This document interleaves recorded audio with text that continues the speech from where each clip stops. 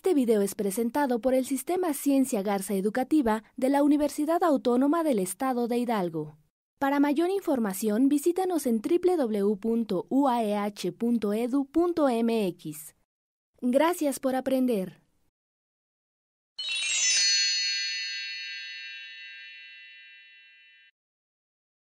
Buenos días, eh, bienvenidos. Mi nombre es Alondra Domínguez Ángeles y soy doctora y maestra en Ciencias Sociales en el área de Estudios Históricos y Antropológicos.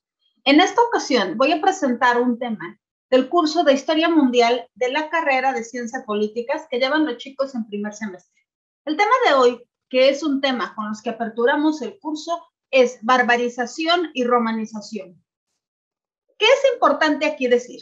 Cuando hablamos de barbarización y romanización, nos referimos a un fenómeno cultural y militar. Lo primero que tenemos que recordar y se nos viene a la mente es esta imagen. Esta imagen, aún para las personas que jamás han estado en Europa o que jamás hemos pisado la península itálica, resulta familiar. A veces no sabemos exactamente de qué, pero nos recuerda el mito de Rómulo y Remo salvados en el Tíber por una loba llamada Luperta. Bueno, esta es una señal de que aún nosotros hoy, en México, en el siglo XXI, no solamente eh, tenemos símbolos de descastellización, de hispanidad, sino que estamos romanizados, al igual que lo están en un grado u otro todos los países occidentalizados, porque todos los países occidentalizados vienen de potencias de Occidente que en algún momento fueron romanizados. Y de eso es lo que vamos a hablar en este momento.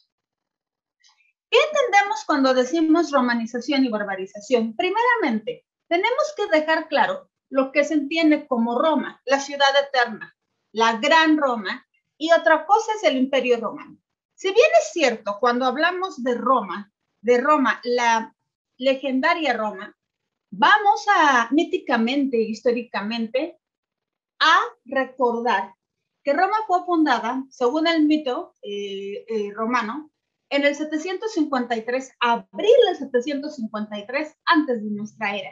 Es, estaríamos hoy hablando de hace casi 2800 años. La historia y la arqueología han marcado que esta fundación se dio entre el 53 y 54, es decir, 753 o 754 antes de nuestra era. Y ahí van a ser Roma, lo que conocemos como Roma, pero esto es Roma, la ciudad Roma, la etapa monárquica. Pero otra cosa es pasar de Roma monárquica a Roma imperial.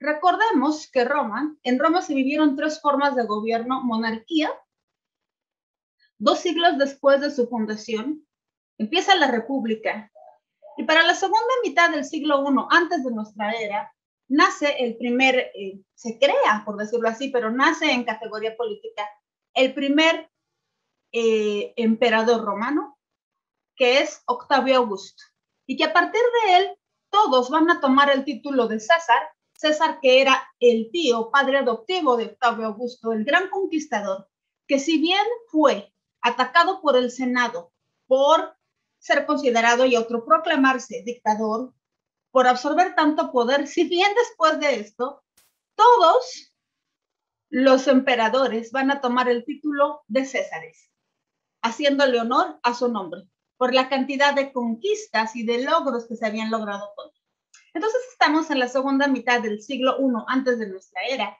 y nace lo que conocemos como Roma imperial. Y es lo primero que debemos de dejar claro y aquí lo vemos en los mapas. Si vemos Roma, la ciudad eterna, es una pequeña ciudad que fue construida sobre el monte del Palatino, allá en la península itálica. Pero hablar de siglos después, ya de siglos en nuestra era, es decir, del siglo I al siglo V, cuando cae Roma el imperio, estamos hablando de una extensión territorial que tenía territorios en el norte de África, en Asia Mediterránea, y que llegó hasta la Galia, es decir, hoy el actual territorio de Francia, que es lo que vemos en el mapa. Todo esto es el imperio romano. Y precisamente en esta extensión que llamamos Imperio Romano es donde se va a dar este proceso maravilloso, este proceso que desafió el estudio que se llama barbarización y romanización. ¿Qué entendemos primeramente por barbarización y romanización? lo primero que tenemos que decir es que si yo hablo a mis alumnos de solo decir, si hay romanización y barbarización, estamos hablando de una moneda, de la misma moneda por dos caras. Una cara, el sol es la barbarización, el águila es la romanización. Pero ¿qué quiere decir? Que coexisten, que una a la otra se alimentan. ¿Cómo sucedió esto?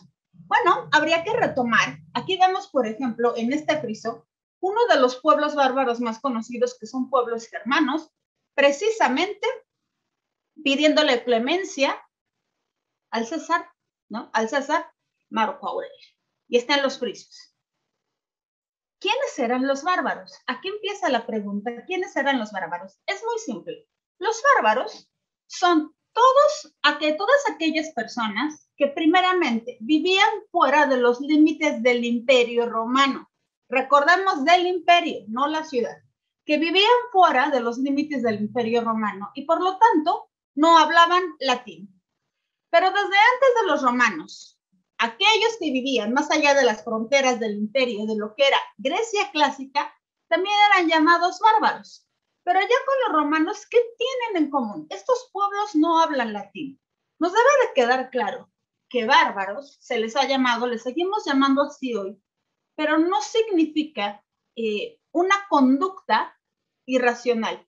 Estos pueblos son en su mayoría hordas que provenían, como dice eh, aquí este mapa de ideas, que provenían o bien del norte de Europa o provenían del Asia Central. ¿Qué es lo que está sucediendo para los primeros siglos de nuestra era? Estoy hablando del siglo II, del siglo III, ya de nuestra era. Lo que está sucediendo es que estas hordas, en su mayoría, son grupos familiares. Están en busca de un medio más benévolo para su supervivencia. Como lo sabemos, todos los, reinos, todas las sociedades que se desarrollaron en la línea ecuatorial son favorecidas por el clima.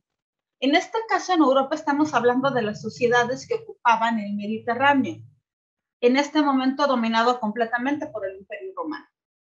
¿Qué buscaban entonces estos grupos al acercarse a los límites de todo el Imperio Romano, ya fuera en la península itálica, ya fuera lo que fue el territorio eh, de Hispania, ya fuera lo que fue el territorio de la Galia. Lo que buscaban era precisamente dónde vivir, dónde cubrir sus necesidades, dónde poder obtener alimento, porque vienen de áreas áridas, difíciles para llevar a cabo la agricultura y por lo tanto tampoco la ganadería. Obviamente este proceso que llevó años, que no es en una década, mucho tiempo, este proceso hizo que muchos de estos grupos tomaran una actitud beligerante, es decir, que ciertamente sí hay muchas hordas de familias, familias buscando dónde establecerse, pero también entre esto empieza a haber grupos de poderosos guerreros que formaban ejércitos. Todos estos, entre el siglo II y III, buscaban una cosa. Buscaban llegar al imperio romano, perdón, pero no con el fin de eh, destruir el imperio romano. Lo que ellos querían era que Roma, que el Estado romano los aceptara eh, como habitantes, como nuevos habitantes, que les otorgara derecho y ellos poder trabajar ahí. La mayoría buscaba eso, es decir, buscaba romanizarse, buscaba la protección de Roma, buscaba entrar en los límites territoriales y también de costumbres de Roma, si lo tenían que aceptar así para vivir mejor. ¿Qué sucede? Entre los siglos II y III, las famosísimas legiones romanas, que tenían principalmente desde su origen, los soldados eran ciudadanos romanos, también recurrían a un grupo que se llama los auxilios, se les llamaba así, y este grupo estaba formado por reclutas de soldados no romanos, es decir, de grupos bárbaros. Para los siglos II y III, la expansión del, imperio romano fue tal que se requería quien protegiera, quien protegiera las fronteras de las provincias. Es un imperio extensísimo que abarca parte de tres continentes.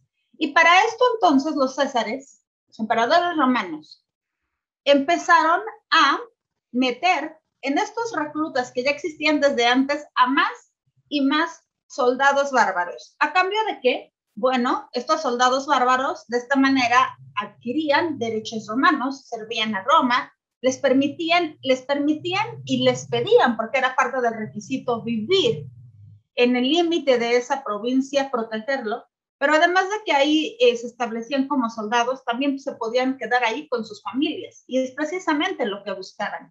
¿no? Para esto hay un tratado precisamente que yo les puse aquí, una forma de tratado, una forma de, alianza que se llamaba el Poedus. El Poedus era un tratado en el cual no se sometía sino Roma y los grupos llegados, vecinos o bien grupos conquistados, es decir, vencidos por romanos, llegaban a un acuerdo de alianza en el cual a partir de ese momento trabajaban en conjunto. Es decir, estos grupos adoptaban las leyes romanas, eh, eh, adoptaban su, posición de súbditos de Roma, pero también recibían los favores y los beneficios de ser parte del imperio romano. ¿Qué pasa entonces entre los siglos II y III? Y este tratado precisamente y estas formas de meter vecinos y vencidos de pueblos bárbaros es lo que, lo que va a dar origen a lo que llamamos primeramente barbarización. Lo que estrictamente se llama barbarización en historia antigua y historia medieval es el proceso en el cual las legiones romanas, es decir, los ejércitos romanos, metieron en sus líneas a soldados bárbaros. Esto implicaba el uso de otras armas, el uso de otras estrategias, lo cual en un principio sirvió mucho a Roma. Pero con el paso del tiempo, fuertemente cuando hubo muchísimos reclutas bárbaros, es decir, no romanos, fueron entre los siglos II y III. Y a Roma esto le va a costar dos siglos después, porque lo que vamos a ver que sucede entre los siglos IV y V, cuando, Roma, cuando Roma empieza su caída y termina por caer fuertemente, es que muchos de estos grupos, muchos de estos líderes, líderes bárbaros, si bien algunos eran fieles a la corona romana y mediante el poedus tenían relaciones eh, funcionales, otros grupos de estos, otros líderes, al ser mercenarios, al ser mercenarios, podían aliarse con enemigos del imperio romano, con otros grupos bárbaros. Esto también sucedió. Esto va a ser una de las causas que más adelante va a detonar la caída de Roma.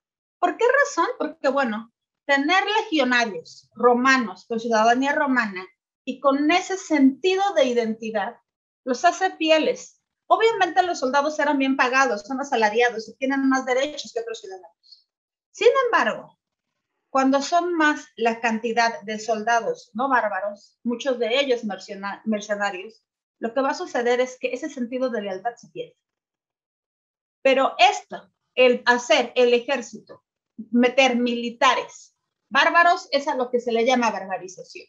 Ahora bien, hoy en día sabemos que en términos culturales, cuando estás adoptando otro grupo, aunque tú nada más digas, nada más les compro productos, nada más son armas, eso no es cierto. Está habiendo intercambios culturales de manera muy gradual. Más aún, si tú eres el poderoso, en este caso, si tú eres Roma, tú dominas. Y el otro grupo, el grupo bárbaro, o los diferentes grupos bárbaros, porque eran muchísimos, puse una imagen de germanos, pero son muchísimas, poco a poco no nada más meten en tu cultura armas, también costumbres, también formas de pensar, también alimentos. Esto sucedía en lo que los romanos llamaban los limes. Los limes son las fronteras del imperio romano, de todo el imperio. ¿Qué pasaba? Que estos grupos, si bien servían a la frontera romana, poco a poco iban eh, generando un sentido más regional más de lo que eran ellos culturalmente, de su vestimenta, aunque tuvieran un código de, vestimenta en, cuanto a, a, aparecerse como soldados. Cuando estaban fuera de ahí con sus familias, defendían más lo que era de ellos. Un ejemplo, un ejemplo de barbarización y romanización es nada más y nada menos, menos que la lengua que hablamos, el castellano. El castellano tiene un papá romano y una mamá bárbara, al igual que lo es el portugués, al igual que lo es el francés. Es decir, las lenguas romances son un producto en la Edad Media de este largo proceso.